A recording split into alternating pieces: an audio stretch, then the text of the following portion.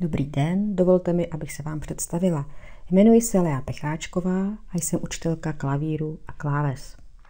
Vystudovala jsem hru na klavír na pedagogické fakultě a potom jsem několik let působila jako učitelka klavíru a kláves na základní umělecké škole.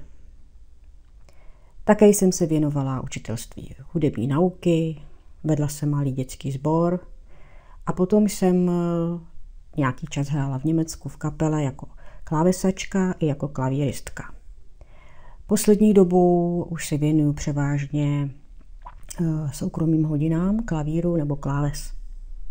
Mám již více než 25 letou praxi, díky které jsem eh, učila nejenom v českém jazyce, ale i v anglickém jazyce. A právě jsem se seznámila s Piano Oxford Method, což je taková anglická klavírní škola pro začátečníky, podle které vlastně učím i v současné době všechny svoje nové žáky, ať jsou to maličké děti od 4-5 let, anebo i dospělí lidé, i třeba seniori.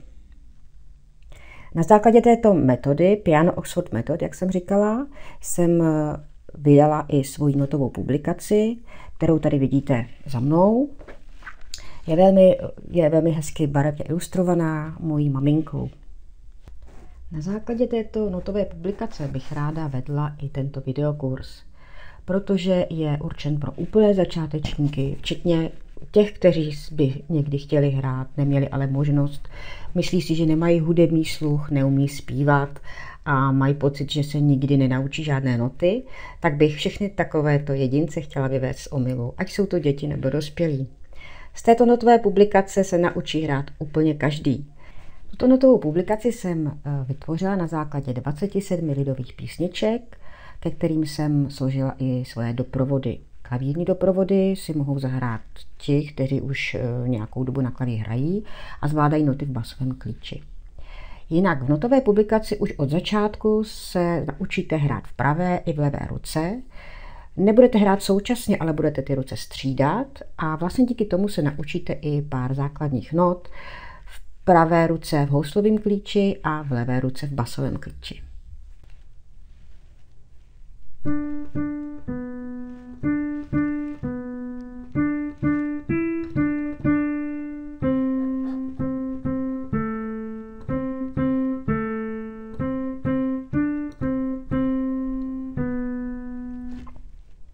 Skákal pes přes oves, přes zelenou louku, šel za ním myslivec, péro na klobouku.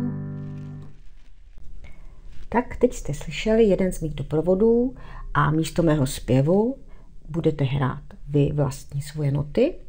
Případně si tím taky můžete zaspívat, tak jako já. A tím vlastně vytvoříme společně celou písničku. Podívejte se do neplacené části, kde se seznámíte už s trochou té hudební teorie a zároveň si i zahrajete pár svých prvních písniček.